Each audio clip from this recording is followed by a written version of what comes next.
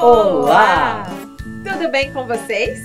Sejam todas bem-vindas, bem-vindos e bem-vindes ao canal do Sesc 24 de Maio. Meu nome é Adreísa. O meu nome é Ricardo. E nós somos da Companhia Biscloff e hoje vamos compartilhar com vocês dicas de leitura da biblioteca. E o tema dos nossos vídeos é Afinal, para que serve um livro? Hum, você aí em casa já parou para se perguntar alguma vez? Para que serve um livro?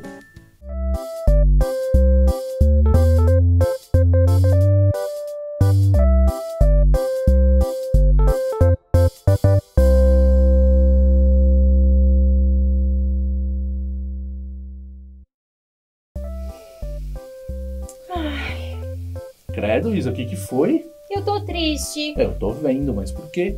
Ai, porque esse é o último episódio que a gente vai fazer. É, mas sabe de uma coisa? Hum. Eu tô é bem feliz. Feliz sendo que é o último episódio? Ué, a gente trouxe tanta dica de leitura legal, tantos livros interessantes aqui pro pessoal. É, pensando assim, é verdade, né? Sabe o que me lembrou? Me lembrou quando a gente lê um bom livro, assim, que a gente gosta muito e a gente fica muito feliz lendo. Mas quando ele acaba, ai, a gente fica triste porque ele acabou. Realmente é um misto de sentimentos. E tá aí então, ó. Nos episódios anteriores a gente falou que um livro servia para viajar, Uhum. servia para assustar, servia para brincar, e nesse episódio a gente vai falar de livros que servem para sentir. Nossa, é uma dica bem importante mesmo, né? Porque ultimamente, nessa pandemia, a gente tem sentido tanta coisa diferente, tantos sentimentos. É, sabe o que eu queria sentir? Hum, Eu queria sentir a felicidade de quem vive feliz para sempre, que nem nos contos de fadas. Deve ser muito legal, fala aí. nossa, deve ser muito legal mesmo, né? Viver feliz para sempre. Mas às vezes eu me questiono, viu? Porque pensa, viver feliz para sempre todo dia, o dia todo. Ai, tem hora que deve ser chato. É, talvez enjoe um pouquinho, né? Não é? É. E sabia que tem um livro que fala exatamente disso? O livro se chama Felizes Quase Sempre. Ele foi escrito pelo Antônio Prata, foi ilustrado pela Laerte e foi publicado pela editora 34. E esse livro aqui começa pelo final. Começa do Viveram Felizes para Sempre. E a princesa e o príncipe acordavam sempre, gente, num céu todo azulzinho. Um dia ensolarado com poucas nuvens. E depois eles se deitavam na grama, ficavam olhando as nuvens, comiam do bom e do melhor e faziam o que eles mais gostavam. Realmente, o príncipe e a princesa viviam muito felizes. E todo dia era a mesma coisa. Mas depois do centésimo, quinquilionésimo, nonagésimo sexto dia, foi ficando assim um pouco entediante. Eles perceberam que a felicidade também cansa, né? e ficaram com uma dúvida. Será que os outros personagens ali dos contos de fadas que viviam felizes para sempre, será que eles continuavam vivendo felizes para sempre? Foi marcada uma reunião. Chamaram todas as personagens que viveram felizes para sempre para saber se elas ainda eram felizes para sempre. E assim chamaram, sabe quem? A Chapeuzinho Vermelho, A Cinderela, a Rapunzel, os três porquinhos as fadas madrinhas. e toda a turma do Felizes para sempre. Olha, foi uma aglomeração só naquele castelo. E para surpresa de um total de zero pessoas, todo mundo estava entediado com aquela vida de felizes para sempre. Ninguém mais aguentava ser tão feliz. Aí todos os personagens começaram a reclamar. A Branca de Neve e os Sete Anões disseram que tinham vontade de arrancar o cabelo toda vez que tinham que cantar aquela musiquinha. Eu vou, eu vou pra casa agora eu vou. Ai. Os caçadores, por exemplo, falaram que não aguentavam mais assim de tanto marasmo. Não tinha uma vovozinha para ser salva. Não tinha uma donzela em perigo para ser salva. Ah, eles passavam o dia sentado tomando chá e jogando dominó. E todos tinham alguma reclamação. Pelo visto, a infelicidade com a felicidade era geral. Foi aí que o príncipe teve uma ideia. Era muito simples. Era só soltar todos os vilões. E imagina assim, pegar alguém bem do mal, bem do mal e acabar com aquela paz, aquela vida tranquila deles. Aí ia ser choro, gritaria, correria, todo mundo chorando, desesperado, sangue escorrendo, tripa voando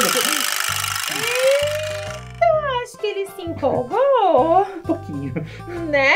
Olha, essa ideia do príncipe não foi nada boa.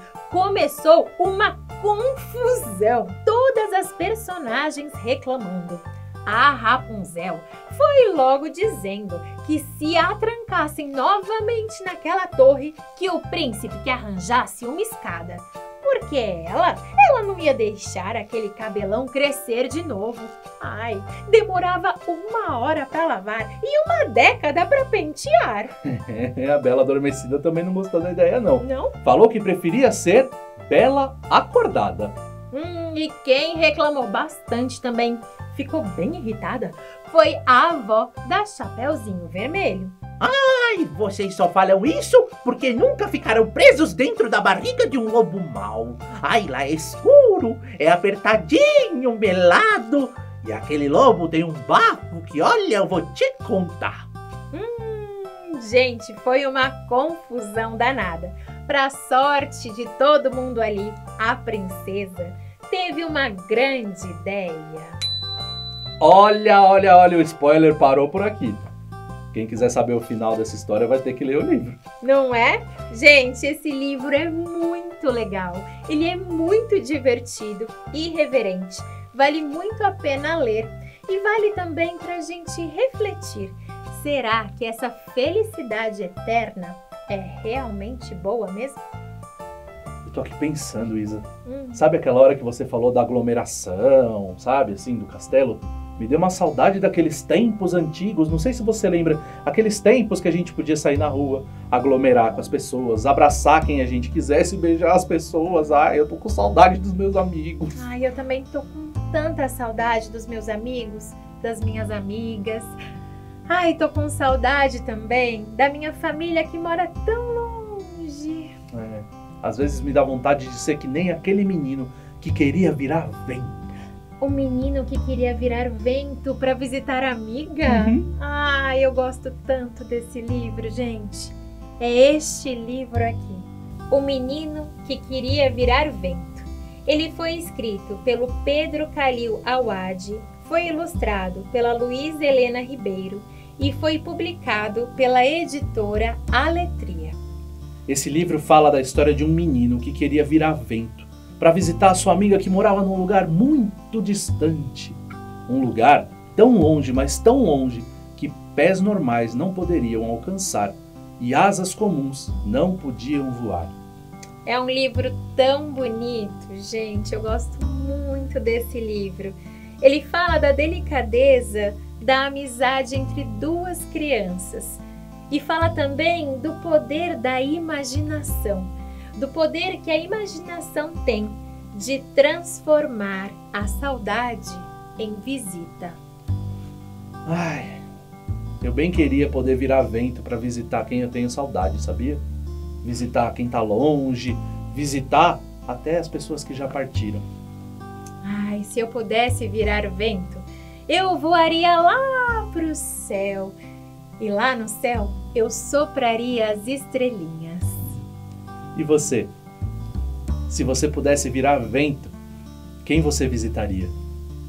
E você? Se você pudesse virar vento, para onde você voaria? E este foi o quarto e último episódio do Dicas de Leitura da Biblioteca. Para que serve um livro?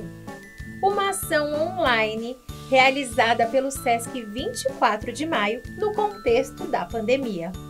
E vocês sabiam que esses dois livros que a gente indicou aqui hoje tem lá na biblioteca do SESC 24 de maio? Durante a pandemia, a biblioteca do SESC 24 de maio está funcionando para empréstimos, mas é necessário fazer o agendamento no portal do SESC SP. Depois de agendado, vocês podem passar lá na biblioteca, retirar os livros e levar para casa. E por hoje é só, pessoal. Esperamos que vocês tenham gostado das nossas dicas de leitura. Muito obrigado e até uma próxima. Tchau, tchau. Tchau. Bisclof, tralala, tiroliro, clim, clim, clof, fum, fum. Bisclof,